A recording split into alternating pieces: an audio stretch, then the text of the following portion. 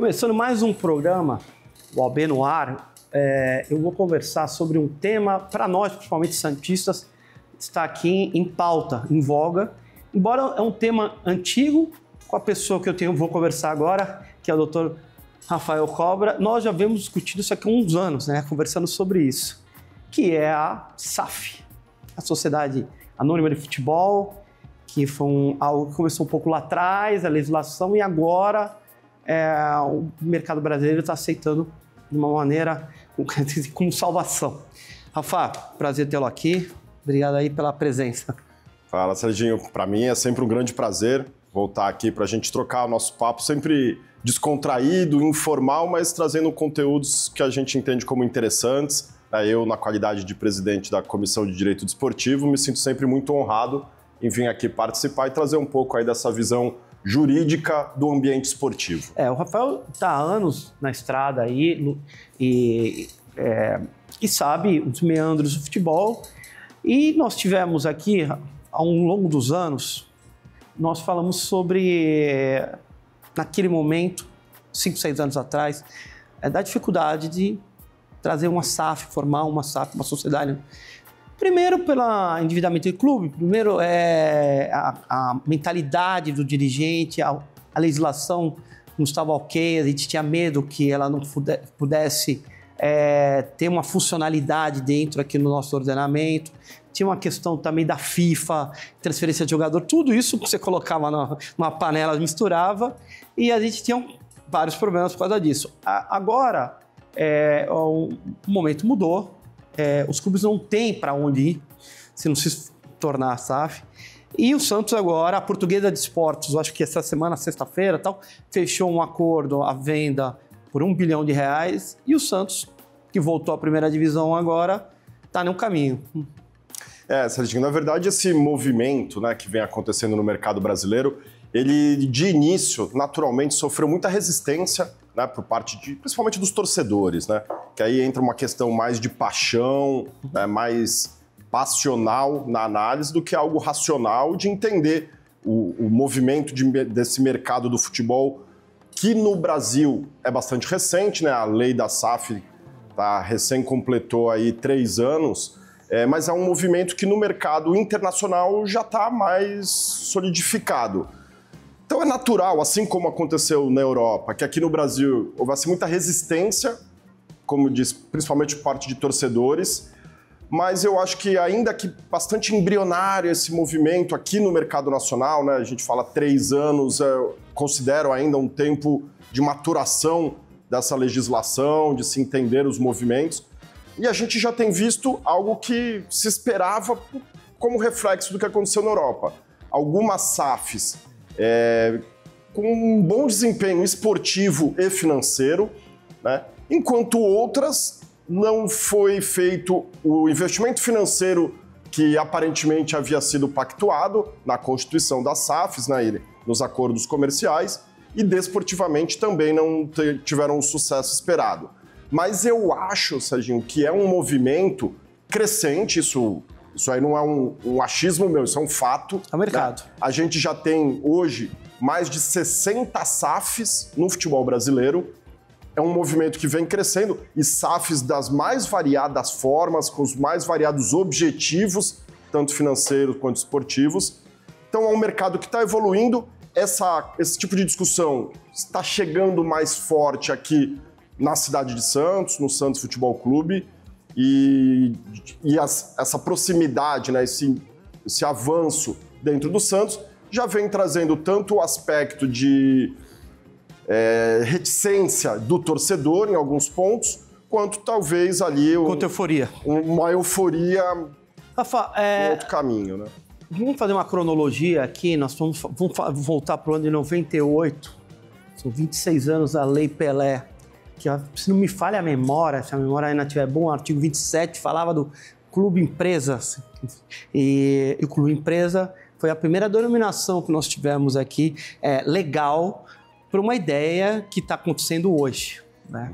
Nós estamos falando de 20, 26 anos. É, essa ideia do legislador, ela ficou é, não estou dizendo morta, ela teve um período todo, que a gente, você pode vai responder até melhor que eu, mas um de não só de maturação, mas de experiências, experiências não tão boas, que foram aqueles clubes virados, que viraram empresas, né? então empresário vinha, comprava e trazia jogadores que ele que eram deles e, e depois largava quando acabava o contrato, que não dava certo, que era rescindido. E aí eu também me lembro que talvez não sei se foi o Figueirense ou qual foi o clube que você me tinha comentado que também não teve uma experiência positiva. O que, que você acha? Ele está falando do mercado, o mercado está abrindo a porta para isso.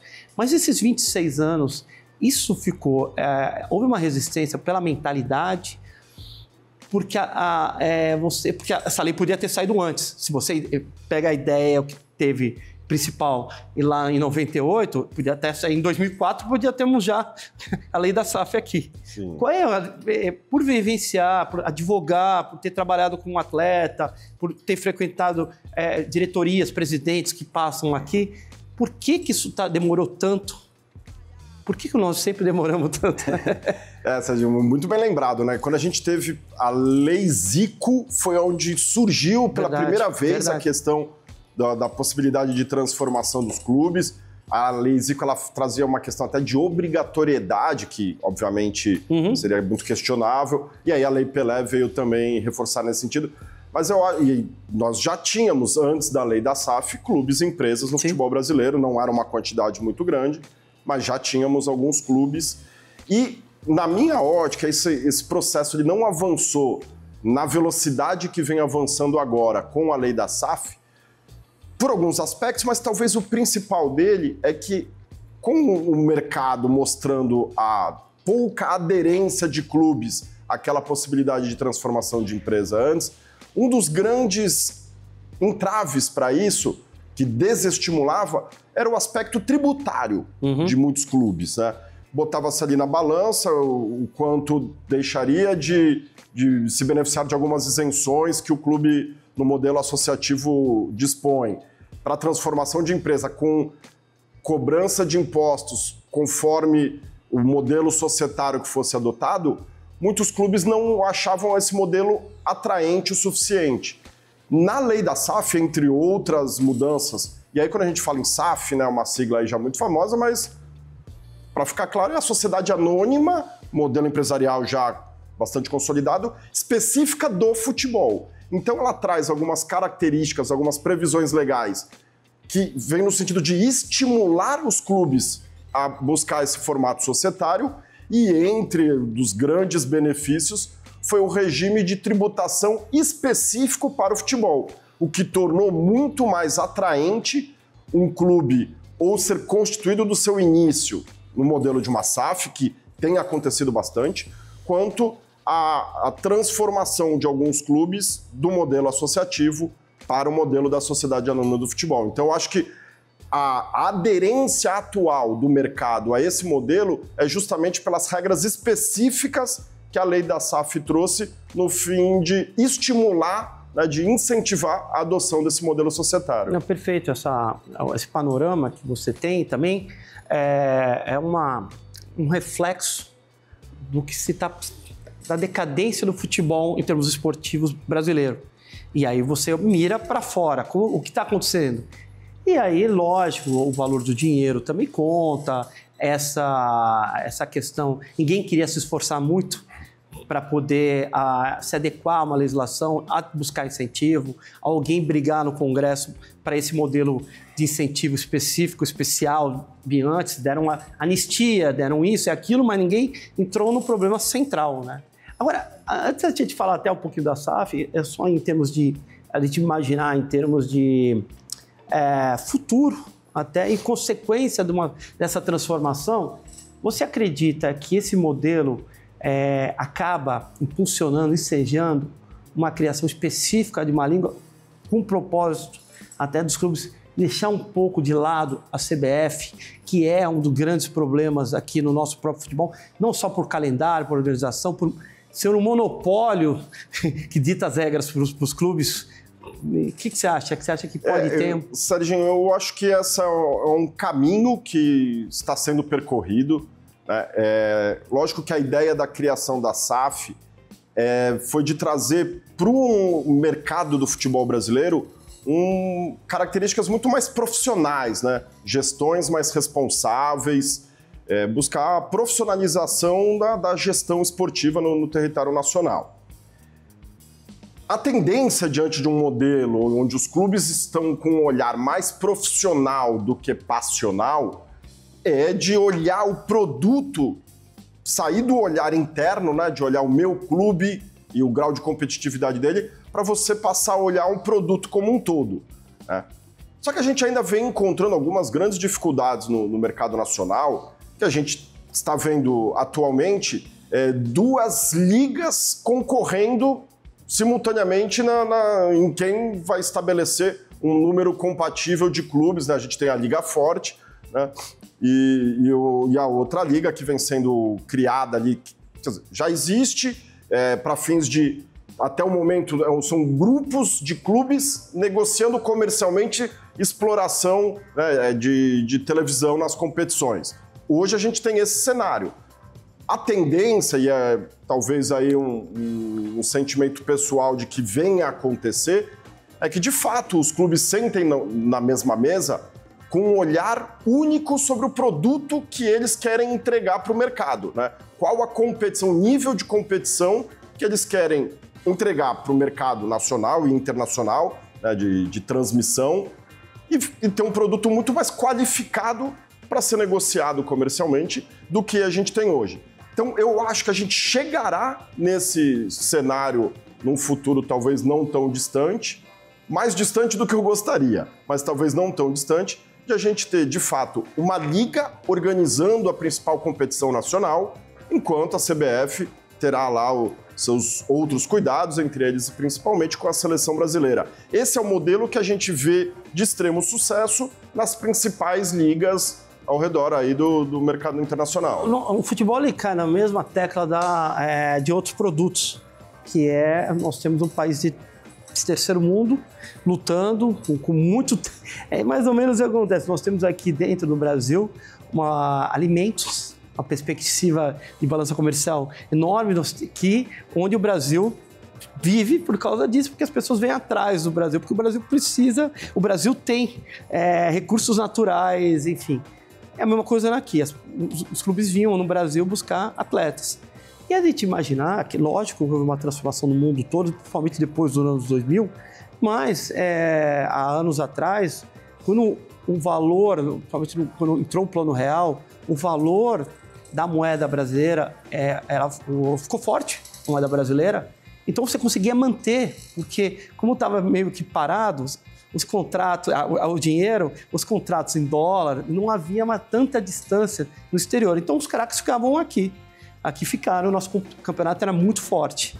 A ideia do investidor e da SAF e dessa organização é justamente ver um produto muito bom, que está desgastado, que é um produto que não, não olham, mas é totalmente rentável, vendável, e você mudar essa fórmula, estimulando e fortalecendo aqui dentro. Para isso, você tem que ter a, a SAFs, você tem que ter uma liga, você tem que ter uma concorrência na televisão, porque senão é o modelo associativo e o modelo da CBF é um modelo furado. Os clubes só em 87, 88, né? Não, 87 tiveram a ideia é, de formar lá a Copa União, lá o, o, grupo dos 13. No grupo dos 13, eles não conseguiam subsistir, porque ainda que eles tinham feito coisas, o nível do campeonato era 15 pessoas, até que o Santos não caiu naquele ano porque é, não tinha rebaixamento. Então, eu acho que é uma mudança é, muito importante para o cenário, não só legislativo, como esportivo, né?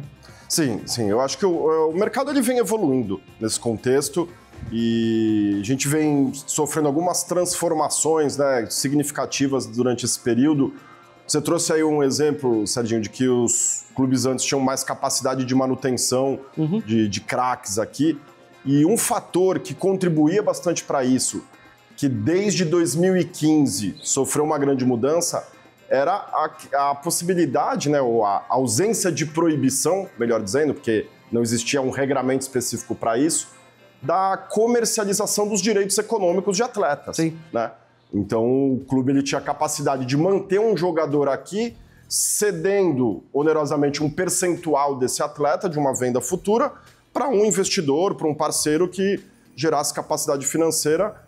Mas a FIFA, em 2015, proibiu né, que terceiros fossem titulares de, de percentual de uma venda futura de atleta, justamente num olhar, como a FIFA sempre acaba decidindo as suas questões, num olhar protecionista ao mercado europeu. Sim. Justamente quando o mercado começou a, aqui no mercado sul-americano, a trabalhar de uma forma interessante essa cessão de direitos econômicos, proporcionando a retenção de atletas, o mercado europeu viu que para se tirar um grande jogador daqui, a dificuldade era muito grande e quando se conseguia, o preço era muito elevado. Então, o modelo que o mercado esperava uma regulamentação da FIFA, desse Instituto do Direito Econômico, de uma forma surpreendente, protegendo os interesses do futebol europeu, na época era o Platini que presidia, é, foi proibida a comercialização desses direitos econômicos, o que trouxe um impacto muito grande para o mercado aqui. Então, o, o, movimento atual da SAFs é uma forma de. É, Estímulo, de né?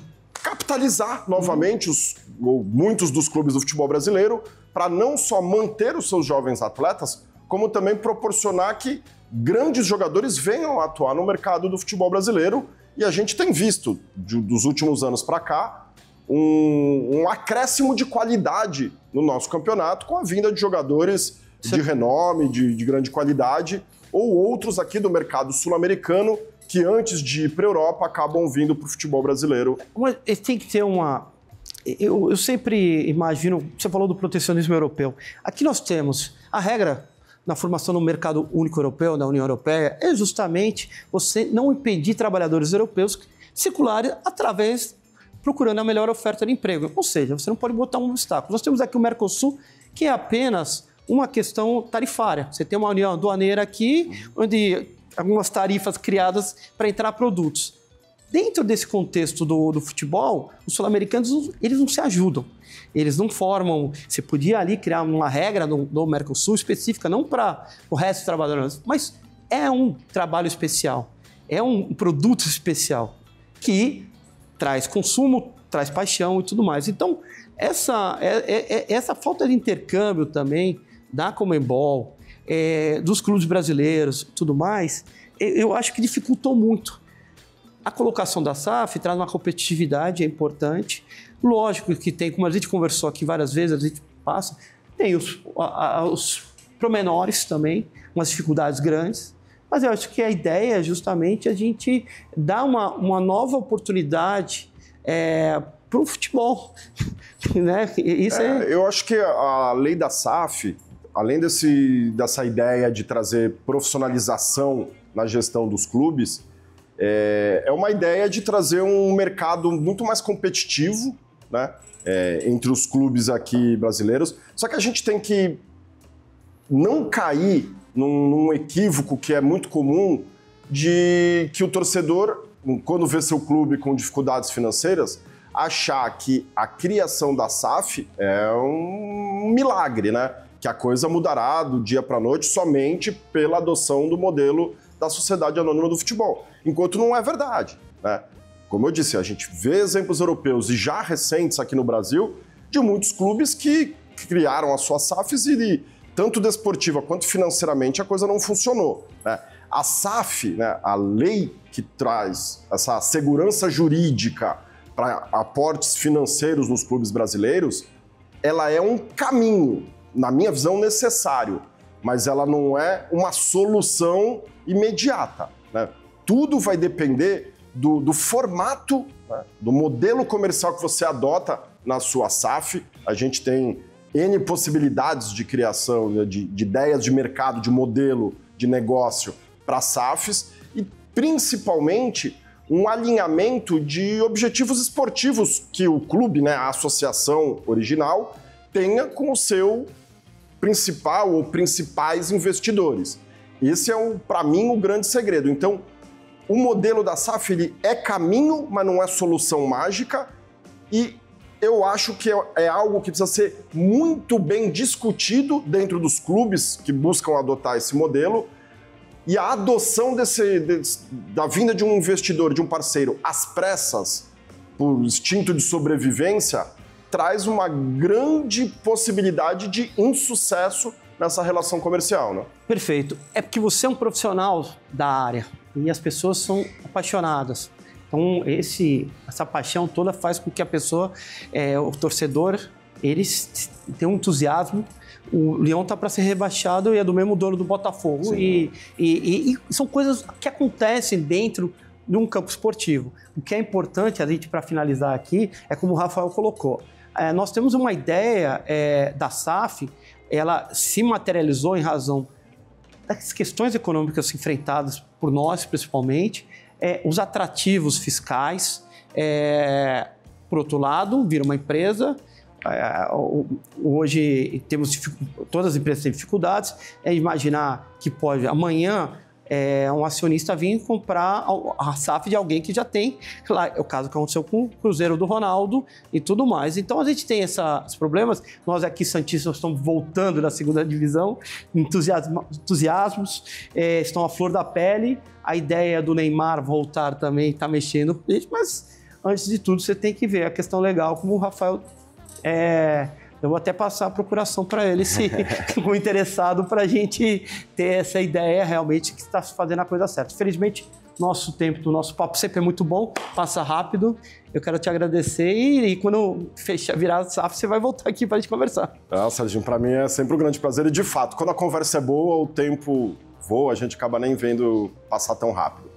Grande prazer voltar aqui e, como disse das outras vezes, repito agora, estou sempre à disposição porque quando a gente tem um amigo e um assunto interessante, a conversa é sempre muito prazerosa. Obrigado, Rafa.